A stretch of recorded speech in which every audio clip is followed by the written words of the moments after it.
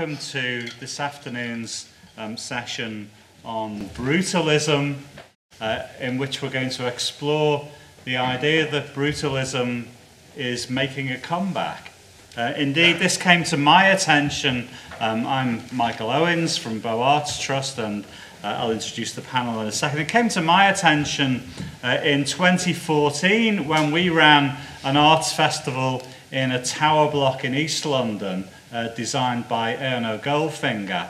And we found that, um, first of all, the British Council were really interested in joining in and bringing architects from around the world uh, to come and spend time in Poplar and East London. And indeed, the National Trust in London was so excited about this brutalist building that they came and opened up one of the flats and made it the centerpiece of their summer um, practice. So I thought that was pretty good. It, uh, it excited our, uh, our festival. But then uh, next year, uh, I was to find that the National Trust were doing the same thing on the South Bank, uh, and the year after, uh, the same kind of theme, but now down in Croydon. So if you have an unpopular part of town, as we had in Poplar East London, discover your brutalist building and you will excite interest. And I think that that message uh, in Croydon I've mentioned, but most recently I think Thamesmead uh, are getting into that kind of practice. So just from the point of view of the sort of the news value uh, and the and the cultural atta attachment, it does seem to me uh, the brutalism, the B word, is indeed big news. So uh, I'm really interested to hear uh, from the experts that we have here today uh, what they think about um, the, you know, whether this is simply a style trend of the moment or whether there is something much more substantial uh, that we ought to recollect and reinvigorate in practice today. Just to introduce our guests today, so Dr. Barnabas Calder uh, on my immediate left, who's a senior lecturer at the University of Liverpool School of Architecture uh, and has just issued a book which I really urge you to buy uh, Raw Concrete The Beauty of Brutalism. Um, uh, and uh, so uh, Barnabas's specialism is British architecture since 1945, uh, and he encourages you to focus on his new book if you're inspired today. Um, Lucy um, you needed Lucy to find this room because Lucy is the assistant venue manager here at the Barbican Centre and indeed runs the Barbican Architecture Tours. Lucy has a, an, a, an MA in architecture history that she got at UCL. Okay, Sebastian uh, Messer is senior lecturer at Northumbria, Northumbria University uh, and is also a char chartered architect. As well as being an academic, uh, Sebastian is a practitioner and has practiced architecture in the northeast in Newcastle uh, and Gateshead. Um, he studied at the Mackintosh School of Architecture in Glasgow and also down here in London at the Bartlett School of UCL. Then um, next we'll have Penny Lewis. Uh, Penny Lewis is a, a, lecturer up in Scotland at the, uh, at the Sutherland School of Architecture, part of the Robert Gordon University in Dundee. Uh, and Penny's also the co-founder of the Foundation for Architecture and Education, uh, in which she uh, writes, speaks, and organises uh, around critical thinking in architecture. And then finally on the panel we have John, John McRae, uh, who is the co-owner of ORMS, uh, and uh, I know ORMS because they've designed a whole number of offices uh, across London, uh, but you will find John's work uh, right across the, uh, the piece in terms of the, the, the, sectors that he engages in. And John's passion, he says on the ORMS website, is about an architecture that listens an architecture that listens. So if we listen to brutalism as a, as a theme, I wonder what we'll hear. So I'm going to ask uh, my panelists to say uh, something up to five minutes by way of introduction. I have to be uh, fairly, uh, fairly strict with you, I'm afraid, uh, but then we'll immediately open it up to the audience. Okay, so first of all, Barnabas. Thank you. Uh, I'd like firstly to challenge the common conflation of brutalism and social housing. They are not the same thing. Most post war social housing wasn't brutalist, and most brutalism wasn't social housing. And I'd like too to challenge the idea that brutalism is a style with a consistent political meaning behind it. It is no more consistently politically uh, specific than any other style, as the great building in which we now sit reveals. The Barbican was built by the Corporation of the City of London in order to defend itself from takeover from the London County Council, uh, because the London County Council was transparent and left wing, neither of which suit the interests of the uh, corporations of the City of London Square Mile. Uh, and brutalism, in a totally recognizably same visual form, occurs in political regimes as different as Scandinavia, uh, the USSR, the USA, and Franco's Spain, uh, and draw a line through those to show the common element other than the brutalist architecture I challenge you. So, what I would argue brutalism is, to get us off to a start before we discuss whether it's back, is a style that celebrates cheap energy. It was the cheapest energy there had ever been. It was getting cheaper faster than it had ever got cheaper. And uh, concrete, glass, and steel were made possible by the, uh, to use on a massive scale by cheap energy, as were lifts and heating, facilities previously unknown even to the middle classes in many cases. Uh, and this enabled architecture for all purposes and for all clients to burst into a huge period of new creativity. So, is it back? Yes, to a large extent, but not enough. People sound concessive. There's some quite good brutalist architecture, you know. Whereas, in fact, they should be recognizing it as the best architecture there has ever been. It is as confident, as high in skill from the architects, the engineers, and the builders, uh, as competitive between the designers, uh, as any other architectural period. There was more going on, and more competition, and more expertise, and more astounding results as, on the back of it. However, the fact that it's coming back brings with it its dangers. So, the danger of trendiness is that uh, where benign neglect used to be uh, a major fate for really good brutalist buildings, they're now suffering uh, intentional, overexcited intervention. And uh, if you look at a case like um, Balfron Tower that you were mentioning, uh, it was remarkably unaltered for a long time, apart from bits and bobs of decay and some, some poor quality changes uh, made under, under budgetary pressure. But a lot of it remained very much as designed by the great Erno Goldfinger. Uh, it was then, as it became clear that this was not only listed but also going to have a value from its trendiness, uh, sold off by the um, Housing Association to uh, a property developers, uh, London Newcastle as I understand it, uh, who have, uh, in some combination, I do not know who has been the active parties in this, but the residents have all left uh, in a spirit, in at least some cases, of extreme ill will. the noise of that objection has been partially muffled uh, by precisely the enjoyable and engaging uh, arts activities um, that we've been hearing about from Bow Arts. Uh, and now it's just had planning permission for a refurbishment that is very insensitive and that's going to gut all the flats um, in terms of moving internal walls uh, and uh, replace the windows with windows that, in the view of uh, expert commentators, are not going to be a satisfactory uh, replacement of the originals, although they are re replacing bad intermediate ones in the meanwhile. Uh, and it just feels unnecessary. Uh, this style has come back in and is therefore becoming a target for property developers and for um, uh, profit making activity. So, uh, brutalism is back, it's not yet back enough, and parts of its rev revived popularity are in themselves bringing dangers to the architecture itself and to its original purposes. Brilliant. Thank you. In a 2003 survey by Grey London, the Barbican won the dubious award of London's ugliest building. The Barbican has certainly not always been loved.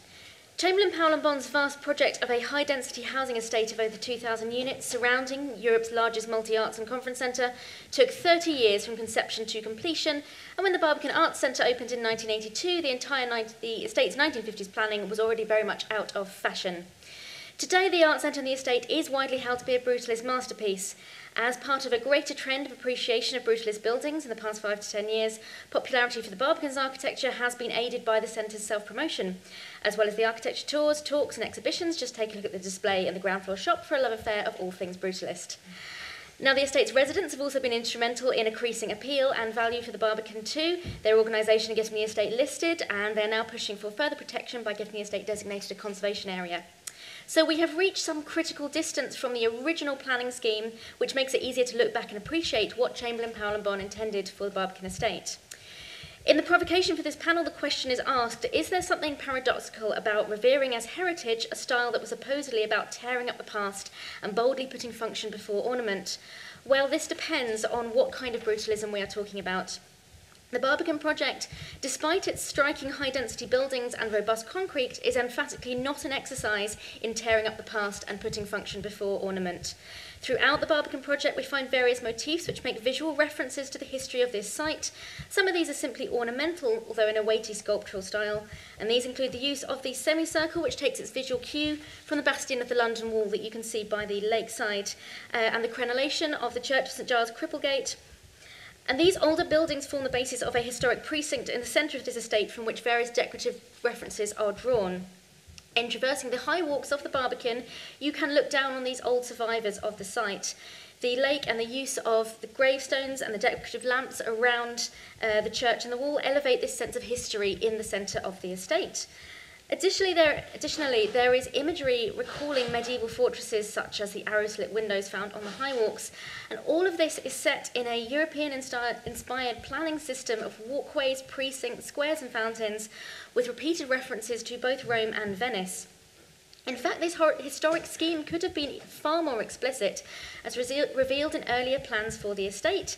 In the early plans, Chamberlin, Powell and Bon proposed re-erecting Temple Bar, the ornamental Baroque gateway designed by Sir Christopher Wren, as a grand triumphal entrance into the Barbican estate, heralding the estate's position as the entrance to the City of London.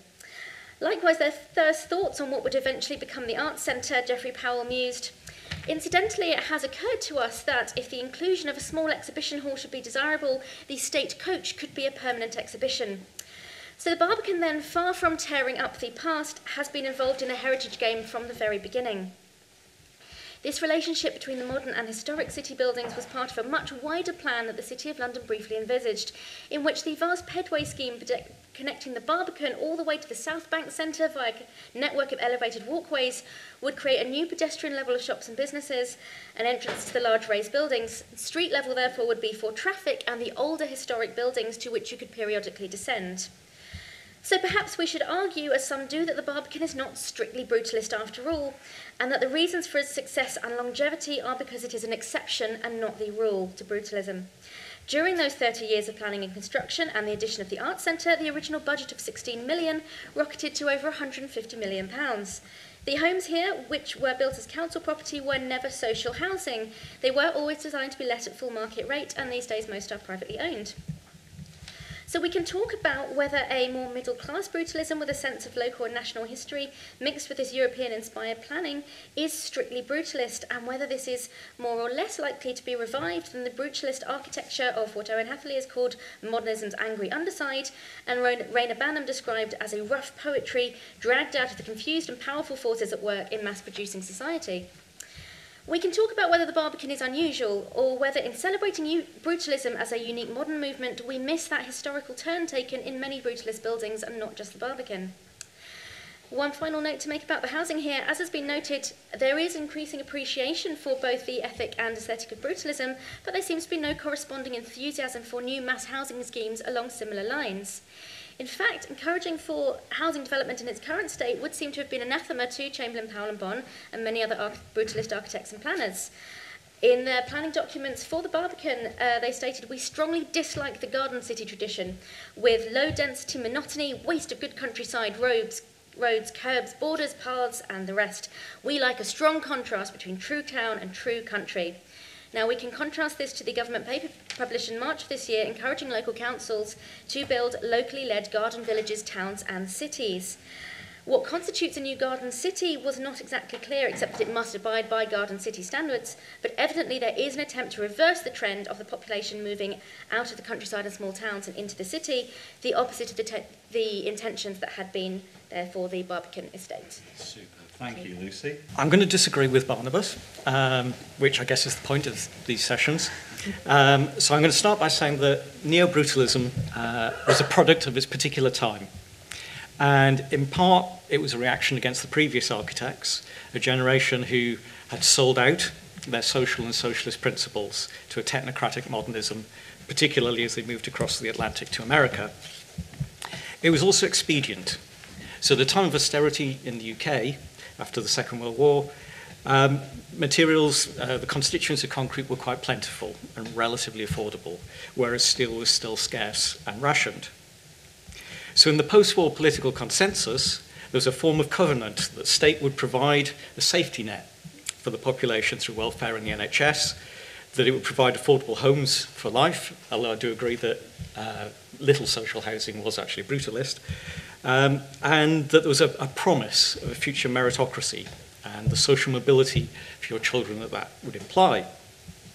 So, brutalist buildings do have a political meaning, do have a, a political purpose, that they signified this break with the past um, and uh, this separation or, or this kind of breakdown of social classes.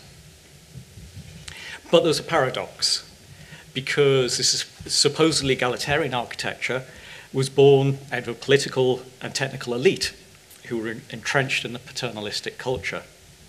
Politicians and planners unquestioningly knew or assumed that they knew what was best and that they were entitled to make those decisions for the common man. So the masses would be improved by their top down state led philanthropy, whether they like it or not. Now, architecture, like all human endeavours, can be read as a collection of signs.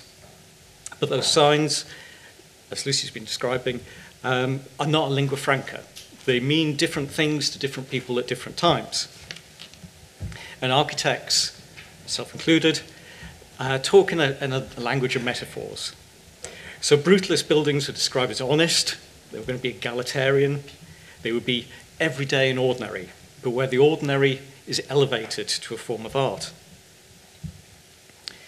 In Learning from Las Vegas, uh, Bob Venturi and Denise Scott Brown contrasted their postmodern architecture, which comprised of ugly and ordinary signifiers, against the alienating abstraction of modernism, which for them was represented by Paul Rudolph's brutalism. And we're still struggling with some of these competing semiotics. So, on the one hand, this architectural form, mass social housing, the NHS, places like this for high culture, is a bit of an embarrassing reminder of that broken social covenant as the political middle ground moved to the right since 1979 in Karl Marx's fa- uh, famous phrase, history repeats itself, first as tragedy and second as farce. So the language which was used by the modernist planners to justify razing Victorian monstrosities and slum tenements, which are actually neither, is now the same language which is used to demonize brutalist buildings and increasingly to denigrate postmodern buildings as well. On the other hand, we tend to think of heritage as being about preservation. So as has been mentioned, brutalist buildings are being re-evaluated, at least aesthetically. What do they mean? Why do we want to preserve them? And that, I think, is the open question. For those of you that don't know this building, this is St Peter's Cardross Seminary um, by Gillespie and Coia outside Glasgow. About 15 years ago, I, with uh, the photographer of um, this image, uh, Dan Dubowitz, and a student from Dundee University, John Deffenbaugh, uh, we set up a campaign to save this building. Um, and um, we firmly believed that the building was of sufficient merit, it was A-listed, um, that it was worthy of um, consideration for some kind of uh, attempt at uh, restoration. This is the condition it was in when we began the campaign uh, 15 years ago. We, um, this is uh, looking in the other direction, we generated a reasonable amount of publicity for this campaign 15 years ago. Um, I remember going on the culture show um, and um, being interviewed by somebody on the culture show about it. And this moment kind of particularly sticks in my mind, has made me think quite a bit about this discussion around brutalism. Um, because I found myself in a position whereby, I'm just showing you some images of what it was like originally and why we thought it was worth saving. I found myself in a position whereby um, I could explain very clearly what was good about this building as a piece of architecture, and I did that to the BBC, and that went down very well. Um, but they then asked me um, to speak more personally about why I thought it was so important, so worth saving. And I've got in my mind, it's one of those things where um, you say something in the media and then you lay in bed awake at night thinking about it, thinking, oh no, that wasn't the right words. But I said this thing, I said, oh, it, it sings of the optimism of the post-war period. And quite a few people repeated back to me and said, oh, that's really nice, Penny. Sings of the optimism of the post-war period. Uh, but I felt really uncomfortable with it, and I couldn't quite work out why I felt so uncomfortable with it. I mean, you look at the images, and clearly it does sing with the optimism of the post war period. There's, there's, there's something there. But the reason we'd begun the campaign was not because we were nostalgic for the welfare state or, or nostalgic for the 1950s, it's because we thought the building was. Um, exquisite and excellent of its, of, of its type uh, and was an important part of um, Scotland's cultural uh, heritage. So the first point that I'd like to make is that um, somebody this morning in one of the sessions talked about radical nostalgia. I think the re-enthusiasm for brutalism is part of a radical nostalgia, and I myself am prepared to admit am a little bit part of that radical nostalgia in that we look to um, that period. And there's a very beautiful film being made by Murray Greger about the building when it opened, where you can see these hippie like uh, priests, trainee priests, walking around with their long hair and their jeans. They look like something out of Gregory's Girl, although it's a bit earlier than Gregory's Girl. Uh, but they're clearly sort of very much part of that generation of people who, in the post war period, had a sense of possibility and things opening up. Uh, it's very easy for us to look at, at, at this period and, and this work and, and um, and sort of be nostalgic for something about it. Although I agree with Barnabas that it's wrong for us to say brutalist architecture is associated with any particular political idea, I think uh, the large volume of work that was produced in the 1960s um, had a certain character to it, inevitable character to it, uh, which was tied to the fact that people um, were relatively optimistic about the possibilities of that period. So that's my first point. This is a, an image of that building by Toby Paterson, and it's just to emphasize the fact that around the same time, around sort of 2004, um, you saw the emergence of a number of artists who were also working on this building, and part of that process of developing their work in relation to what they saw as brutalist iconic buildings.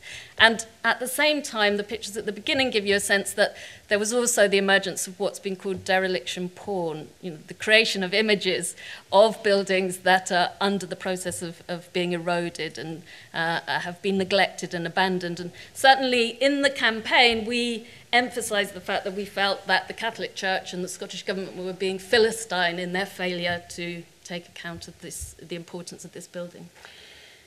Right. Last year, or no, yes, for the last few years, there's been a campaign to save this building. Not, not anything to do with me and my friends. It's by uh, an organisation called NVA. And um, in the spring, they did this fantastic um, light and, and sound show. And I went along And at some levels, I really enjoyed it, and I'm very pleased about the work that they've done, uh, funded by the Heritage Lottery Fund and others, in order to bring the building uh, to a position where it's safe to, to walk around it. But I have to say um, that singing of the optimism of the post-war period is not the way this building has been appropriated in its new reincarnation. In fact, this sound and light show was incredibly gothic. It was very dark.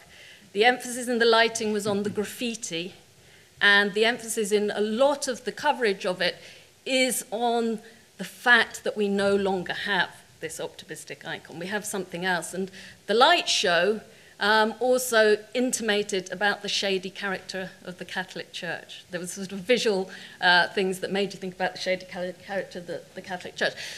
so I've tried to think about what happened just in a, a 10 year period. I mean, admittedly, we were losing the argument when we had it in just around 2000 uh, to change the fortunes of this building and what's changed about the attitude. And in a way, I, I want to sort of raise one idea, which is um, what this is uh, celebrated for now is its rawness. So this brutalist building, that wasn't officially brutalist, but it's known as brutalist building, was, is now celebrated um, because of its rawness um, and, and its energy. And in fact, Barnabas uses the expression raw in, his, um, in the title of his book. And I think that's a very interesting thing for us to reflect on. Um, because I would argue, and Sylvia Lavin, uh, the architectural writer from the US, has written um, that we should think about the raw and the cooked. We should, we should think about contemporary society and its preoccupation with rawness. The thing that I loved about St. Peter's Cardross was that it was incredibly refined. It wasn't raw, it was incredibly sophisticated. It was the high point of the sophistication of the modern movement. Uh, and that's what's worth celebrating about the work that was developed in that period. Uh, and I'm not sure that rawness is really uh, what we should take from the work in that period. Um, just as Michael introduced, we, we're a practice in London and we work across a, a range of sectors. And I thought it was just worth putting some background to that. We do a lot of refurbishment work in London. And so we've actually been working on a lot of uh, Colonel Seifert's uh, buildings, and we're also working on the refurbishment and extension of Camden Town Hall Annex. And it's through those works that I found it really interesting that I can't profess to have a love of brutalism, but I have a real understanding and appreciation of the characteristics of what they were trying to do. The honesty, integrity of its construction and materials is actually quite exquisite when you get into the, the layers of how those buildings have been put together. What I would say, though, is I think, it's, uh, I, I think I see it as a guilty pleasure. I thought I would start by just um, going to my professional body, the Royal Institute of British Architects, who say, you should consider brutalism as architecture in the raw, with an emphasis on materials, textures, and construction, producing highly expressive forms. Scale was important, and the style is characterized by massive concrete shapes colliding abruptly while service ducts and ventilation towers are overtly displayed. Now, what surprised me about that definition was that there's much more to this, and I think we've touched on some of this, is that brutalism was also seen as a reaction by a younger generation to the, the lightness and optimism of the, the 30s and 40s. It also expressed an atmosphere of architects that wanted to look at the moral seriousness of, of that, um, that style. And I think that combined with the, um, the socially progressive intentions of the time meant that brutalism was promoted as a, a forward thinking uh, solution for the modern urban housing that, that we uh, heard about. Now, that was then used a lot in education buildings, not so much in the corporate world, but what then became uh, apparent was in the late 20th century, it became the word brutal was the thing that stood out from it. So, why do I think it's maybe becoming or enjoying a renaissance? Part of the reason could be that um, if you look at the Instagram followers of brutal architecture, they have some 95,000 followers. When you compare that with the Victorian Society, they have 200 followers on Instagram. If you compare their Twitter accounts, Brutal Architecture has 32,000 followers, Victorian Society has none. so, is there something in about the Instagramification of brutalism that we all enjoy? Do we actually like that beautiful, wonderful image? But, or is there more to it? There, is, there has been a renaissance, and especially in the late 90s, for warehouse and loft conversions to express raw concrete and the brickwork. Or is it more than that? Is it a protest against the greed of the current housing that's seen as being you know, for the elite and overseas investment? Or is it a signal of change and discontent? What I would like to, to argue is that I think it is about a signal of change and discontent we know in June of this year there was a, a, a milestone moment in our evolution as a, as a country. And I think when brutalism was uh, at its uh, pinnacle, it was about uh, you know, answering a significant question. So, can Bre- Brexitism be the new brutalism? You know, can we actually look at the characteristics of that? Can we provoke a reaction in a younger generation? Can we instill a more moral, more moral seriousness in what we do? And also provide so socially progressive intentions. Now, is no Brexit a moment for us to look to the future? Can we look at brutalism as a way of formulating a new way of thinking?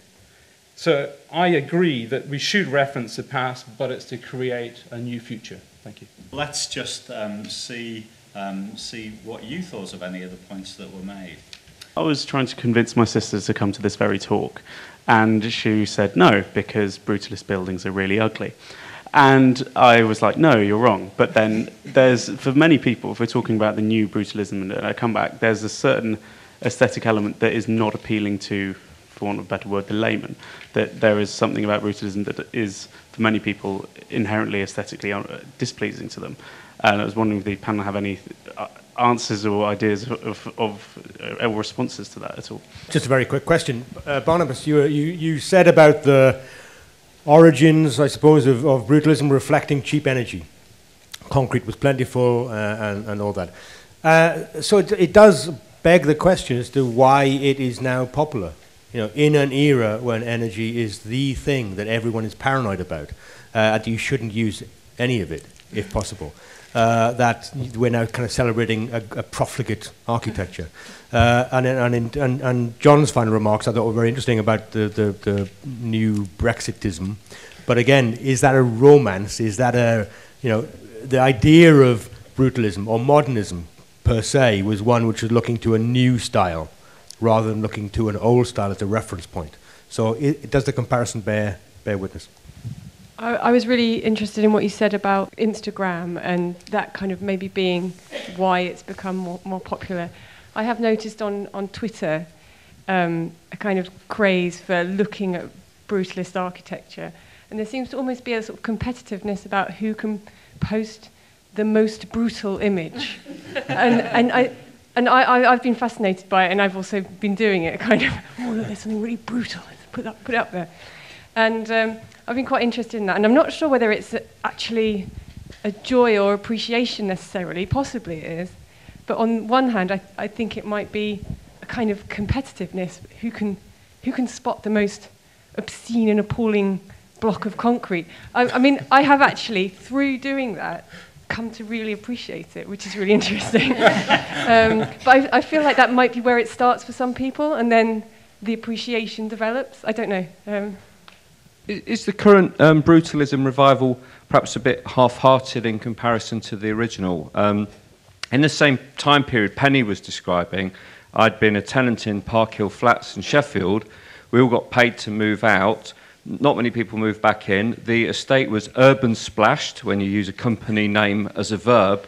And it didn't look much like the old Park Hill Flats when you came back because they'd gone from raw concrete to uh, sort of plexiglass colour panels in all the spots. And um, uh, read lately, they do keep one old style flat aside as a set for filming This Is England in. Um, but, but basically, the, the Park Hill Flats brutalism revival doesn't seem much like the old one, not least because the original tenants can't get back in. So it, are we talking about two different things here?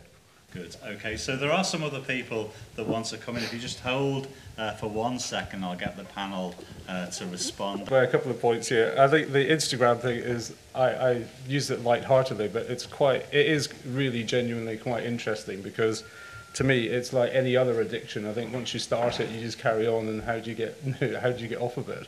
I think with Instagram, I think the reason I use that is that Instagram is a two-dimensional image, and it is about, a, to my mind, is a graphic and a photograph.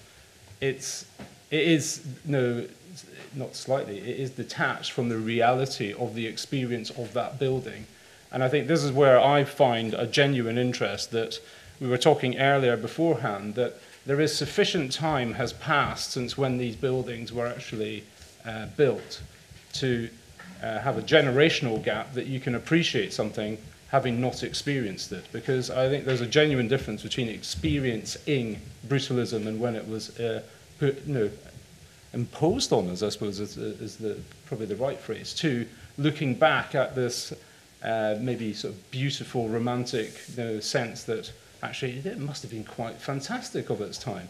Well, that, that's certainly not some of the research. If you look at some of the research of people that, that lived in those, it probably not, doesn't actually compare.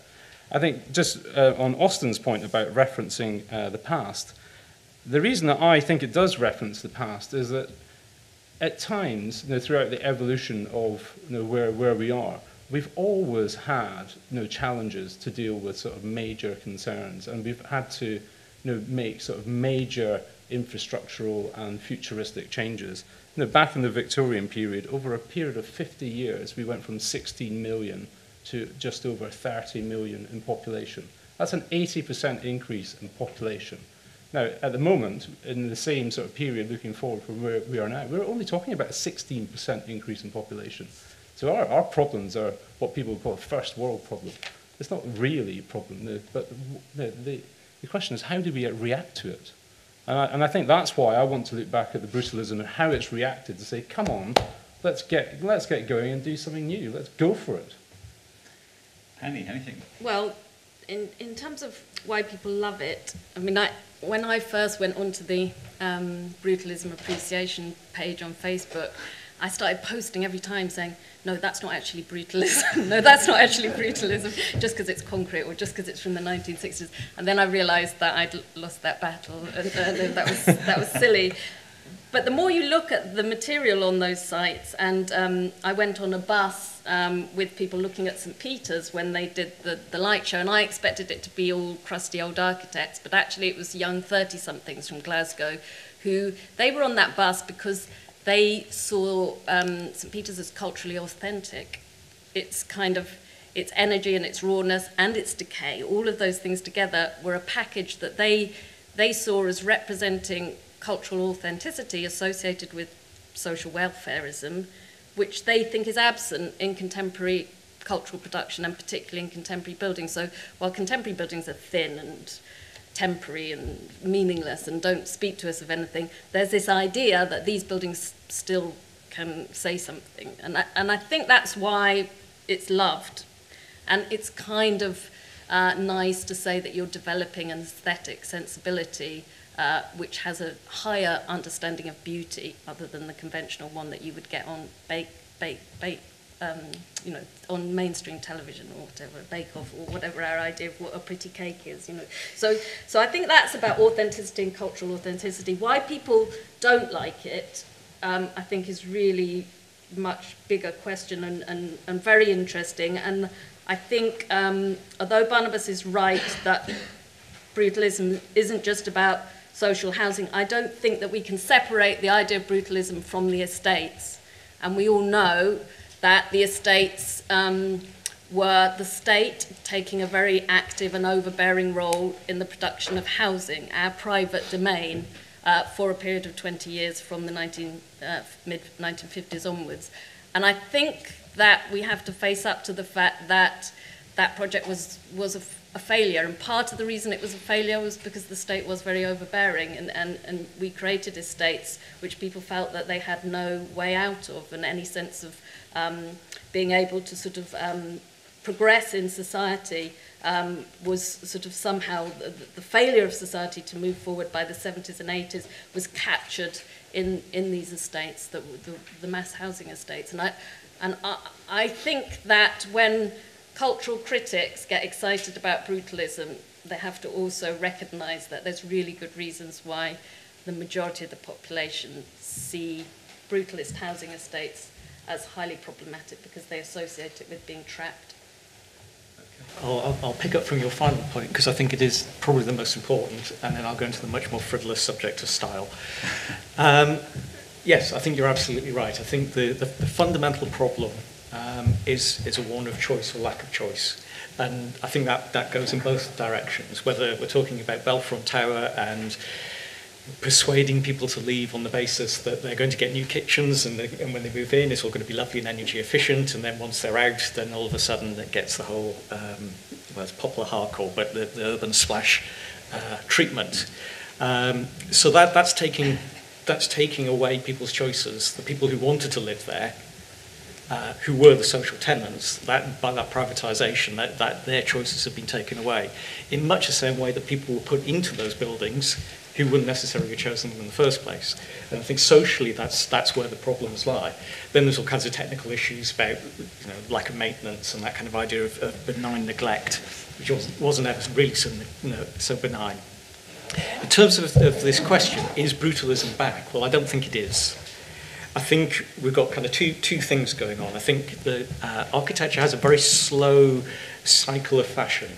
So I'm, I'm of a generation uh, where, well, when I was at the Mac, uh, these guys, Gillespie, Kidd and Coia, were, were our esteemed lecturers. Um, I was told never say anything bad about the dead, so I won't mention anything more about them, but let's just put it this way, we didn't see eye to eye on things.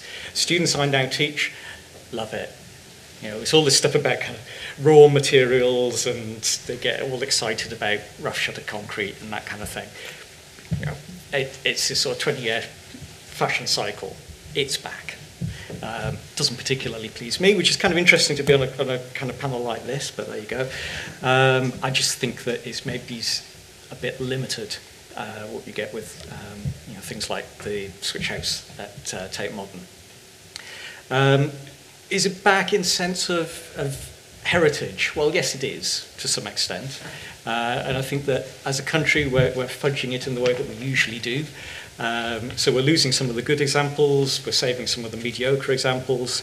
Um, that's just the nature of, of heritage. Um, I, th I think we, we need, I've changed my mind on this, and again, this is going back to my kind of time at, at university. My, my big hero is Cedric Price. And Cedric was always good for a kind of rent a quote. So he was asked after the, the fire of York Minster what they should do with it, and he said, well, demolish it. Um, you know, it's, it's served its purpose. It's been there a few hundred years. Let's use the land for something else. Um, I think as as a, as a, a kind of Western society, we, sort of, we, we maintain our history, our heritage through these objects. So I think it's important that we do say some of these things. But I think, as I say, the, the question is, why do we want to save them? Well, if we're saving them because some developer makes a load of money out of it, and it takes away choices from the people who were living there, I think that says something fairly negative about us as a society. Just to respond very briefly to the point that came up earlier about um, sort of why people love the look of brutalism, um, one of the most popular images at the moment that you can find of the Barbican, um, one of the prints that they sell, is of the hand-pick hammering of the concrete. So you've got somebody in a face mask pounding away at these surfaces, and people just go nuts for that picture. They really love the um, the, the, the physicality and the um, the kind of reassuring solidity of the material stuff that you can see it being built. It does seem to be um, this uh, business of what's uh, good to Instagram. The more kind of solid uh, the picture seems to be, um, what people love. Um, but I think um, it's a question about if brutalism back and what we're and if so, what we are appreciating about it. Um, it does seem unfortunate that some uh, buildings, uh, the buildings and the material are being appreciated, whereas perhaps some of the planning, uh, the landscaping, and the top topographical um, ideas are being lost. So, um, just to go back to uh, what John mentioned about this idea of having some critical distance where perhaps you're not the building is not imposed on you means you can uh, appreciate it in a different way. Um, with the example of the Barbican, the original scheme was that um, you would enter via the high walks if you're a pedestrian and wander around the estate and explore before making your way to the art centre or if you were driving, you would drive in uh, to the underground car parks and pop up from underground, emerging at the lakeside as a real uh, kind of revelatory moment. Um, in fact, uh, largely what happened was a lot of people would arrive on foot on the outside of the estate, looking at the very large concrete walls, trying to work out how you would get in and what happens when you're inside, the experience of being on the outside of some kind of fortress. Um, you mentioned the idea of uh, feeling trapped in architecture. I think the idea with the Barbican was largely to make the residents feel safe as opposed to trapped, but I think it did have that problem as an outsider. Well, they weren't trapped because they, they, they had money. Exactly, they weren't trapped, they were there because they wanted to be. But um, with the uh, new front entrance that was built to the Arts Centre in 2003, we have essentially killed the high walk system in that you don't need to Um, enter via the high walks to reach the art centre, you can come around uh, Silk Street and only explore the rest of the estate and the walkways if you want to. Um, because that is the case and people do not have the walkway system imposed on, on them anymore, there is that space to explore it at leisure um, and take some interest in it. Um, But I do think it's unfortunate to look at something like the Barbican without appreciating that wider planning system. The idea, if it had the huge pedway system all over the City of London, that you would be knitted into the rest of the city and it would be a whole separate experience for pedestrians with businesses and shops and all sorts up there, um, with traffic being entirely separate, a completely different safe scheme. That has largely gone because uh, the pedway system never really got going. There are a few walkways built here and there in the city.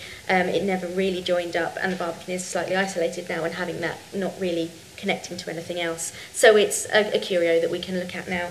Um, and just to finish up on that, um, does seem to be the thing that is being lost where some of these buildings, not necessarily just brutalist buildings, but where some of these kind of great 20th century buildings are being saved, or perhaps new buildings, like you mentioned, the Tate Modern Extension, perhaps being built in that spirit. What we lose is the, the landscaping and the gardening, for instance, the new design museum, uh, the reopened um, the former Commonwealth Institute in South Kensington.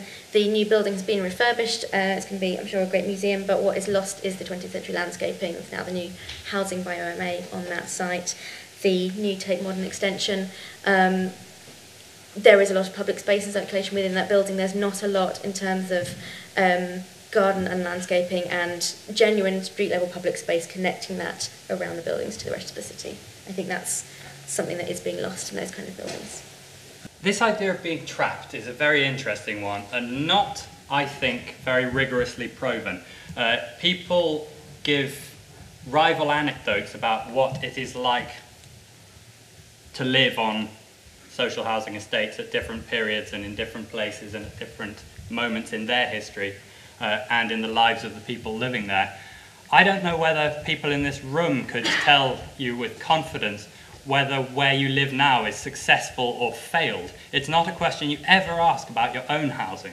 Uh, it's something that's massively complex. I've lived in horribly inconvenient, leaky flats that I've absolutely loved, and extremely uh, warm, safe, straightforward ones that I found much less charming and where I've been less happy because of other factors in my life. Uh, there isn't a straightforward correlation for me. Why should we assume that there is for entire groups of population? What you do get, however, is very pronounced socioeconomic problems clustering in some estates, which do produce by the later 1970s and 80s um, statistical clusterings of uh, life misfortunes and uh, unpleasant things uh, that probably do make for estates as nasty or nearly as nasty as some of the stories about them. But uh, the extent to which that's anything to do with the architecture is very, very unclear uh, as the Barbican shows by being at least as tough as anything else in the country and uh, extremely safe uh, and extremely um, popular and loved. Uh, and for every anecdote you can find of an individual saying that they hate uh, their council estate, you can find another one that says the opposite. So in terms of being trapped, uh, in one of the um, Denys Lasdun's uh, cluster blocks in the East End, I met a woman whose father was at the first generation in there with her as a small child, and he had, as a skilled craftsman, bought himself a condemned house in order to be rehoused into this block because he was so excited to get in there, which doesn't sound like being trapped at that stage in the late 1950s. So I think the story is very, very complicated and very non-linear. Um, as for the uh, question that Austin asked about uh, why really, really energetically problematic architecture is so popular at a period where we are uh, all rightly obsessed with trying to reduce energy uh, consumption in architecture. Uh, I think there's, for architects, a huge element of wish, wish fulfillment. You can fantasize about being a 60s architect who didn't need to worry about cold bridges, didn't need to worry about triple glazing, and could have exactly the disposition of structure and outside wall that you wanted without any panics about that.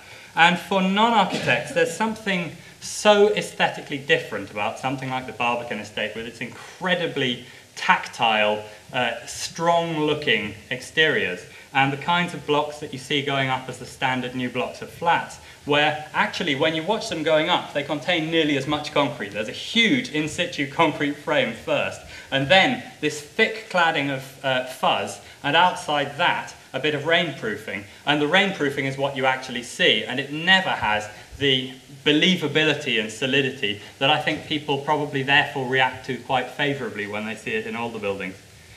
Uh, the only other thing I wanted to say at this stage is that uh, having taken a pop at uh, your organisation in my, in my uh, presentation, I, uh, I think you should have a right of reply despite being chair. it's your call, obviously. Okay, so I've got uh, some other people that want to speak. I'd like to challenge the last speaker about what he said because you say brutalism is back. Have you actually been to the other side of the Iron Curtain? And seen the attitudes of the people who've now got a bit of money and can move away from those sort of housing prospects in Poland and the Czech Republic that they were forced to grow up in. Because I can tell you now that they, they'll run a country mile rather than go back to that. Anybody with a bit of money in Poland and the Czech Republic, they build a bit of the, buy a bit of land and they build a proper house. They hated it. So uh, when you say it's back, is it really back, uh, well, or, or, might it just be back with sort of Hoxton romanticism about how wonderful it all was when Labour were in power? Yeah. Maybe. very um, quick. I give you an instant. Thank you. Uh, it's very locally specific, so uh, you can't tell a single world story, and I'm not trying to. Uh, they were still building it much later. They had much more of it, uh, and it's a very clear status thing to be moving out of. And, and it's already and, falling down. And, Some of it, yeah. You've wound, you've wound everyone up now, Penny. it is back. I get uh, Polish and Latvian and some Soviet students that want to come and study their tradition and are really interested in writing the history of their modernist tradition. And just as with Britain, there's some really awful system buildings, and there's some really good ones where architects really struggled against the system to produce something of quality. So it's not all one dimensional, even in, in the Eastern Bloc. Okay, good. Um, I just wanted to ask Penny, you mentioned um, kind of several artists as well as yourself that had at the same time um, developed an interest in the same building, and that level of sort of simultaneous interest seems unlikely. And I wondered specifically to you, but also to everybody else, if brutalism is back from all these different, for all these different reasons, how have they come back? Is it just serendipity that they've all occurred at the same time, or is it something? Is there something that's caused all of them to appear at the same moment?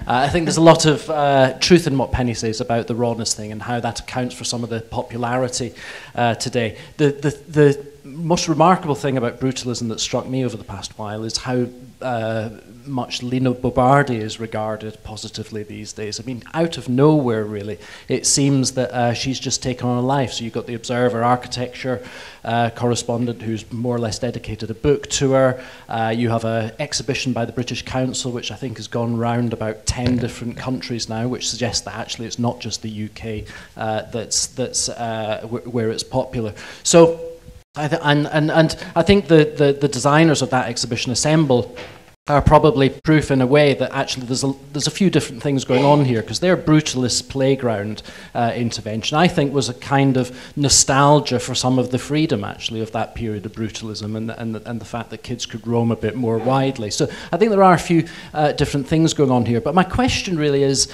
um, as to the origins of brutalism rather than its return and what accounts for that because it does seem to me that um, you know, and to, continue with Lina Bo Bardi, if you look at the emergence of her, it seemed to me that she was very definitely a reaction to the kind of Niemeyer modernism, the, the kind of more futuristic modernism of the, the kind of post-war period in Brazil. And I just wonder if there's something in what Sebastian's saying actually about uh, it being a reaction to some of the dynamism of modernism, and actually even in its origins, uh, there was some things that actually suggested a bit of a slowdown in ambition, a bit of kind of uh, deadening of, of, of that kind of initial dynamism of the post-war period. I also wanted to um, comment on Penny's talk about St Peter's. I also went to that event, which was done by NVA at St Peter's Seminary earlier this year. Um, absolutely a stunning building. Um, but just in regard to the kind of radical nostalgia, I think the building was only open about 11 years. And you may remember there was a big pool of water, inky black water with a drip kind of going into it as part of the sort of light and the art show. And that was in reference to the fact that it leaked right from the outset, to the building. And um, one of the difficulties about the building was that it was exceptionally cold in the Scottish winters. Um, just in relation to the dereliction porn, um, I had a chance to talk to Angus Farquhar, who is leading with NVA, and um, it's interesting that they've got 4.2 million from a Heritage Lottery Fund, and they're planning to use the building as an art centre. Um, I think it will be quite challenging. But the plans for the building are to actually keep and incorporate some of the dereliction into how they develop um, the building, and I thought that was just an interesting comment on the dereliction itself being an attraction. I don't think I was saying that um, the brutalism was a, a kind of slowdown. I think, if anything, it was it was reacting against um, those those earlier modernists, essentially kind of doing their greatest hits. Um, if you if you look at it in, in relation to, to the Congress International, um, it, the group around uh, the Smithsons were effectively staging a coup against Le Corbusier and, and, and of older generation. Um, so I don't, I don't think that it's, I think part of its, its appeal is that, that it, it, it is that kind of sort of yesterday's future. It is the, the concrete tinted spectacles.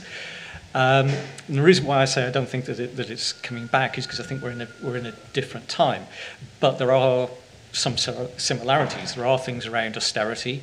Um, there are things around um, local and national identity. Brutalism was uh, a version of modernism which was supposed to be inflected by uh, local characteristics, which is why people like um, the, uh, the Bo Bardi in Brazil are, are kind of relevant. I think in that particular case, there's also a look, we've discovered a female architect, let's celebrate her. Um, Can I just ask you yeah. uh, directly on this, Sebastian? So, so in, I, I sort of get that the the sort of uh, you, you know the way that you're characterising that moment and the you know the Smithsons and the Smithsons uh, reacting uh, you know against some of some of the changes at the time, but isn't there isn't it fair to say? And I think I think the Guardian article, the review of your book, sort of uh, you know, raised this point, but that the, you know, the, in a way, part of what the Smithsons were reacting against um, and you know and, and working on that idea of brutalism as something that is sort of brutish or sharp or unforgiving that they were reacting against a certain softening of some of the principles of modernism. You know, which in a way suggests that you know when you think how cuddly many of you architects are today and how how keen you are to engage with, you know, with people looking out for, you know, the odd place for an artist to, to practice for a little bit. You know, isn't that, isn't there something in that principle of the, of the architects being really principled and being firm and being able to stand for what they believe in that was part of that, uh, that, that, that moment? And, uh, and what do we think about that? Uh, in relation to today? Well, as, as I say, I think it, it, it was a moment in time, and it was in part a reaction against a, a technocratic version of modernism, something which was shorn of all of those social and political ambitions that it had. I mean, you could, you know, go into to Le Corbusier, then you could say, well, he was fairly um, flexible in his politics in any case. Um, but once it became the style of big America, um, once that, that kind of, sort of technocratic planning, separation of pedestrians, separation of living from, uh, from places where people worked, um, what, what they were trying to do was to, to reinvent or to create a, a modern version or a modernist version of the everyday and the ordinary. Um, what, what then happens is that, that that kind of dialogue or that, that language is taken up by other people, and we still talk about every day. We don't tend to describe buildings as ordinary now. We want everything to be iconic. Um, so I, you know, I, I, think I think a lot of this is kind of rhetoric as well. That, that it's, it's in the sort of words that were being used to describe it. Barnabas. Can I completely disagree with that? Absolutely. Uh, uh, the, um, My role is fulfilled. you finally started a fight. I've been trying all the way through. Um, so uh, I'm going to get you after. um, the uh, in a British context, that's in my view diametrically wrong. Uh, so um, the uh, the Smithsons reaction, the generation of that generation, the the generation of the Smithsons, uh, the little group around them who give the term brutalism, bring the term new brutalism into being, uh, their architecture is a reaction against their immediate predecessors and a call back to the 1920s and 30s, uh, particularly the 20s. This and is the the extreme. Smithsons here this is the. Smithsons School at Hunstanton, uh, which is um, splendidly tough. Thank you. It's a very useful thing to have up. Um, uh, described by one person who quite liked it as looking as though it uh, had a promise of canings and theoretical physics on the upper floor, um, but uh, because it's so severe and tough. Um, but the, reason, the thing they're reacting against is the compromising softness of the immediate post-war generation of modernist architects who are, by and large, um, local government and national government architects producing architecture with a really serious political commitment to the point where a lot of them are card-carrying communists and a lot of them are non-card-carrying communists, but still with huge sympathy with Russia, with USSR, and producing this kind of um, socialist realist housing with pitched roofs, um, people's detailing, as it gets mockingly called, uh, where you have nice little brick details around the doors and things. And that is the, uh, the softening of the 1920s modernism that the Smithsons and co are reacting against. And their reaction is aesthetic and, uh, in fact, capitalist against the communist older generation because what they're fighting for is the ongoing existence of small private practices run for profit uh, and with the massive artistic potentially self-indulgent freedoms of private practice, which I think they were right to argue for, because when you look at the extreme cases of system building taking over entire nations, you get not only um, boringness in the landscape, but you also get things like uh, the panel acts of, uh, of Russia all coming to the end of their safe engineering life at the same time, and suddenly um, millions of people's housing is under structural threat in parts of the former USSR. Uh, whereas, because our housing system is messy, a few blocks were problematic and have gone, a few blocks were unproblematic and have gone, and the rest remain. Uh, but we don't have that same everybody doing the same thing. But if you look at the Hertfordshire Schools movement, which is the absolute cutting edge of 1940s architecture in this country, it's so much more actually ideologically engaged and so much more actually uh, concerned with the morality of architecture than the Smithsons and their generation ever were, which is why the Hertfordshire schools are fantastically exciting intellectually, and uh, the Smithsons and their generation uh, are much better to look at because they cared much more what it looked like. Penny? Yeah, I mean, I'm afraid I'm with Barnabas on, on, on this. Um, yes, so this image um, connects back to the previous image, which was Mies van der Rohe standing by, I think it's an image of him in Crown Hall. This generation of people that gave, uh, that produced the work, which took on the name which Reyner Banham gave them of being uh, brutalist or new brutalists, uh, this generation were like the punks if you like, of, of the age. They were incredibly energetic and passionate, and they were against the sort of fuzzy compromise, as they saw it, of the London uh, City um, Architects Department, which they saw as trying to take the spirit and the energy and the vitality of modernism and reduce it to something that William Morris would have loved. Uh, in other words, that it was cottagey and picturesque and, and everything else. So that's where the that's where the idea of brutalism comes from and i think that spirit is incredibly architecturally rich and it's rich because it draws on the tradition of both Corbusier and Mies van der Rohe in the pre-war period it's not wrong Agreed. to in the in the pre-war period. and it's not wrong to say sorry about the history debate but it's not it's not wrong to say of course that they were also critical of some of the things in terms of planning um, which just actually, sorry, can I just, which brings you to that last slide, which is the images that the Smithsons did for Golden Lane, just around the corner, the, the competition for that, in which they pioneered this idea of uh, introducing to Britain Streets in the Sky, which again was incredibly uh, radical at the time, and I think is you know something worth uh, identifying with. But even they were caught in the same trap because their big preoccupation in that period became how do we get people to associate? So they very quickly went from energetic and pioneering to being social engineers as well. And that was the problem with the.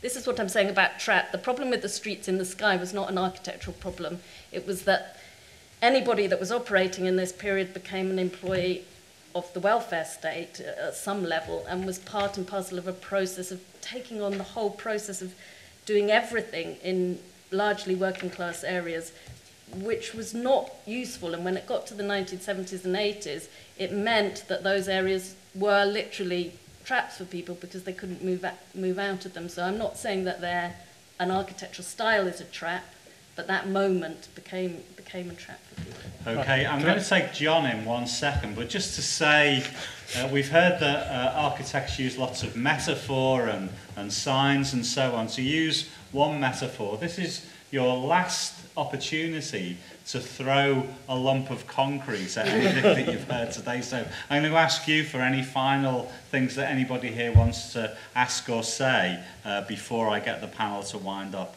uh, in a second. But John's, sorry. yeah, can I can I come in on this? Um, as please. being an owner of a self a self indulgent private practice, I would like to uh, react to some of this. We need to get over ourselves. We are not an ideologically engaged society at the moment. We're certainly not ideologically engaged architectural community at the moment. We're not socially engaged, and we need to you know, sort this out.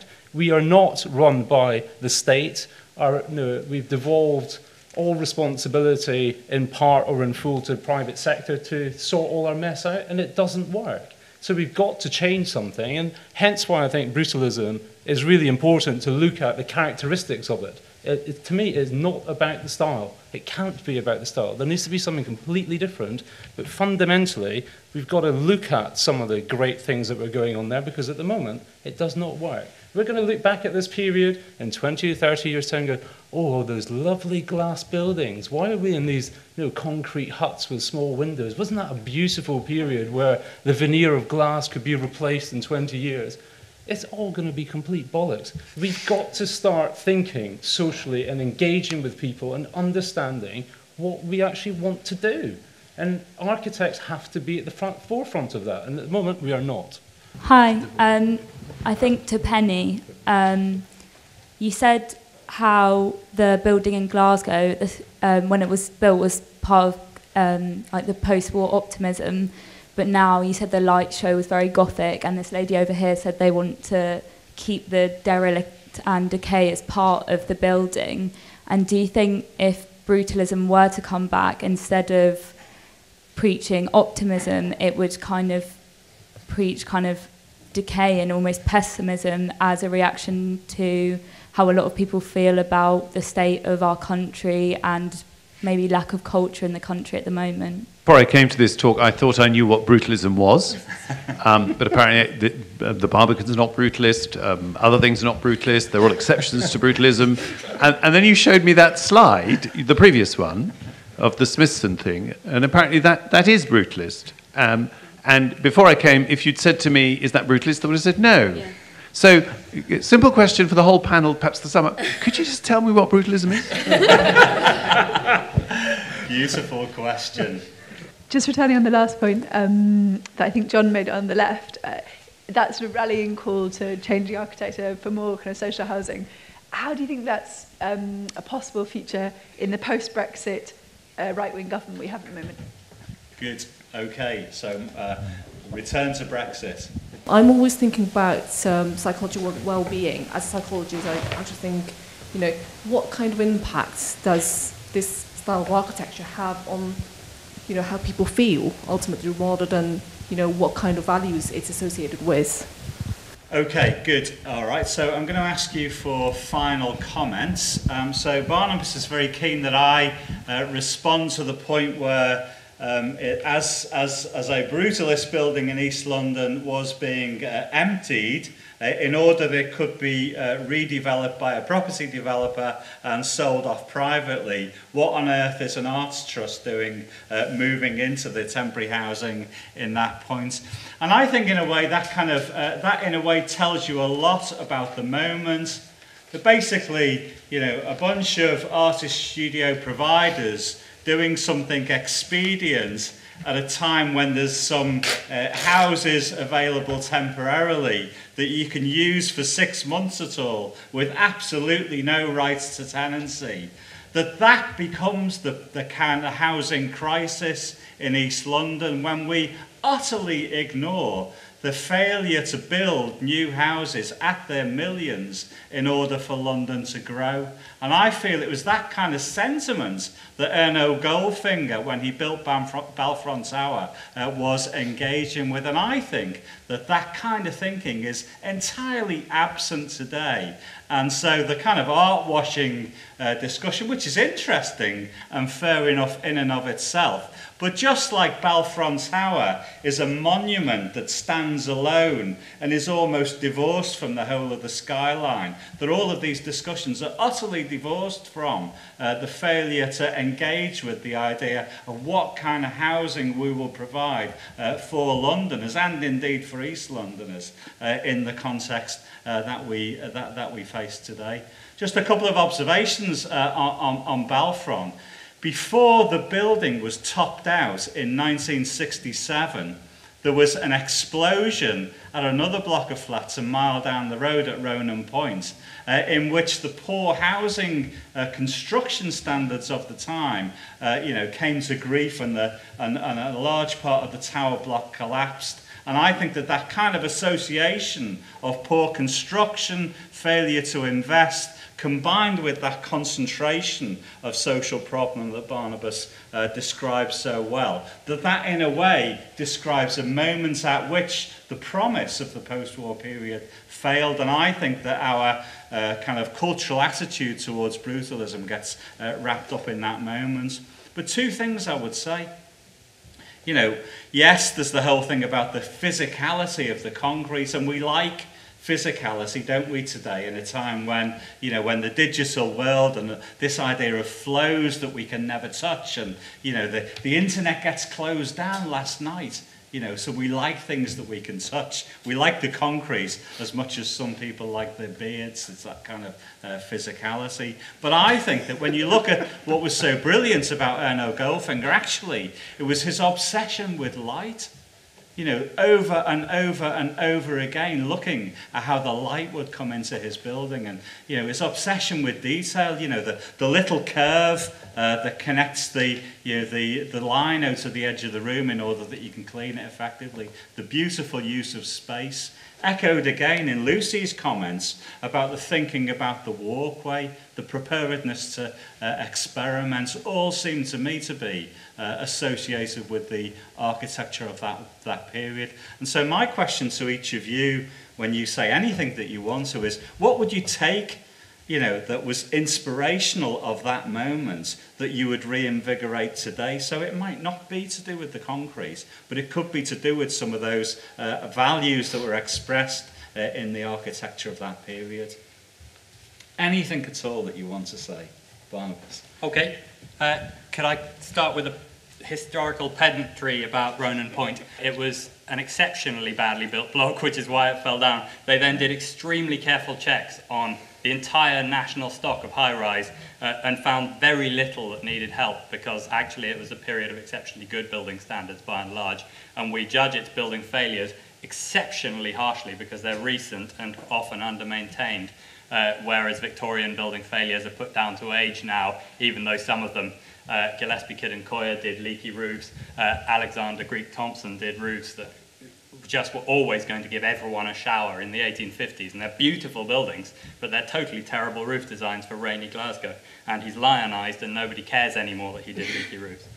Uh, definition of brutalism. Uh, the, there are two definitions at least, uh, two main clusters of definition active. One of which is the new brutalism, and it's the 1950s movement of this sort of thing, which is declared by the architects themselves as a movement name for a group of people. It's a reaction against something called the new humanism, and it's a deliberately radical sounding title.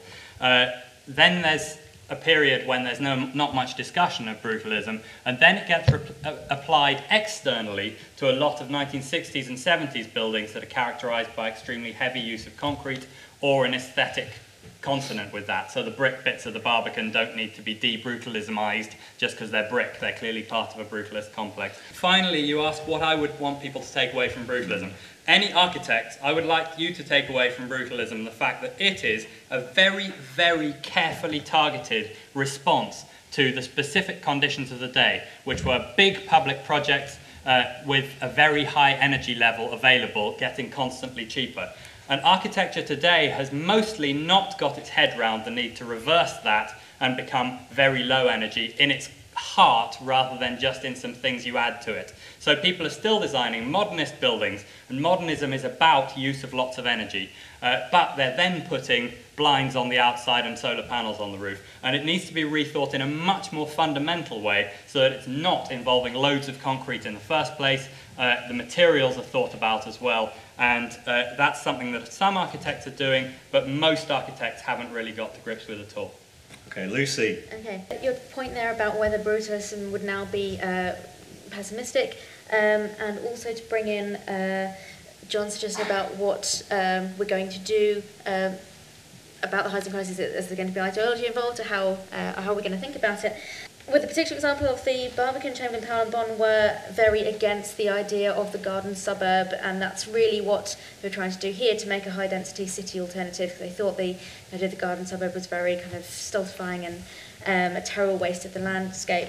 Um, as uh, you were mentioning, the um, in fact, a lot of those early kind of garden city ideas, uh, many of the planners and the architects were communist, uh, lots of them had radical ideas, and um, this idea that a sort of garden city is just uh, twee and pretty and brutalism is, is strong and urban is a bit too um, extreme. In fact, in a lot of those garden suburbs, you have a lot of the very experimental architects of the 20th century trying out um, small-scale individual houses as well on interesting collisions like, for instance, in Romford Garden suburb, which does exist, there is um, a, a house by Tecton next to um, a, a sort of much more traditional Victorian style um, house. So there are these uh, radical interventions in that kind of um, environment. And um, if what we're going to have uh, is uh, new garden cities and garden villages, which is apparently um, what the government says we want at the moment, rather than um, anything like the mass housing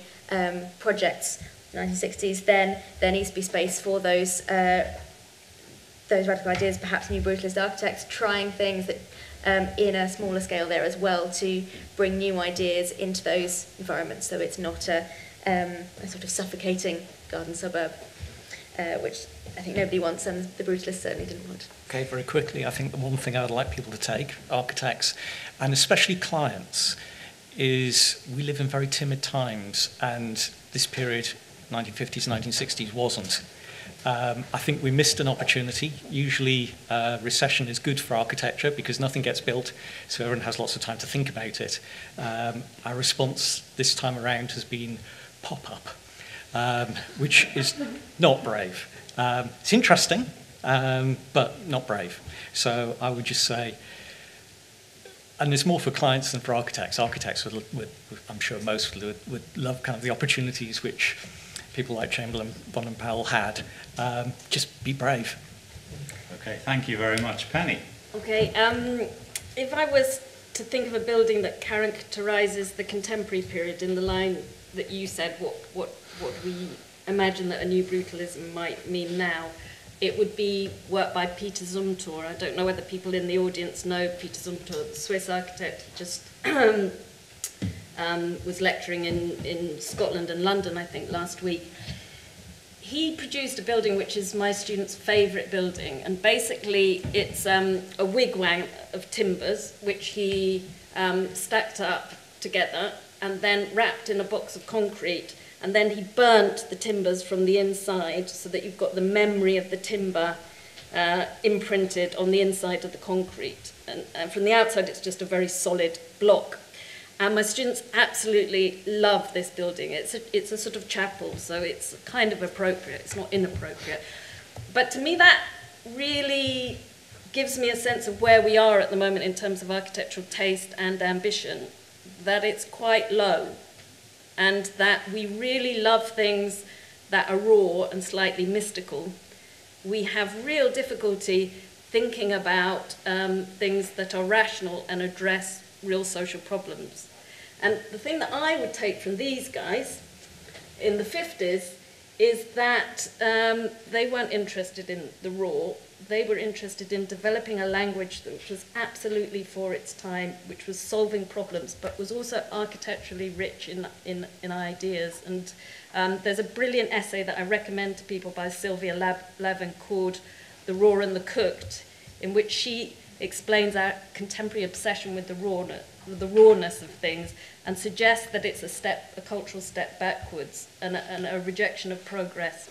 And I think that by looking at these guys, we can remember what progress is about in relation to architecture. Super. Thank you, Penny. John.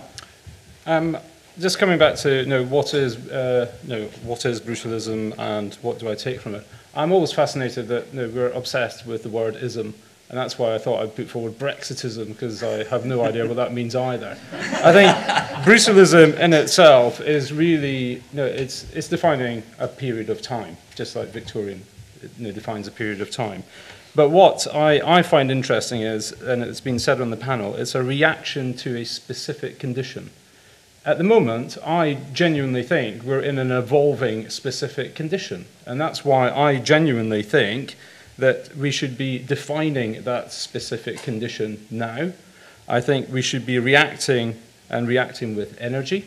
And I think, above all, this idea of honesty and integrity within the brutalist buildings I, I genuinely think there's something interesting because a lot of the uh, contemporary buildings that are going up now don't, don't have that. You know, some of it is you know, far too commercial. And I say that as a self-indulgent private practitioner. Can I just ask everybody to give a great big thank you to the panel here today?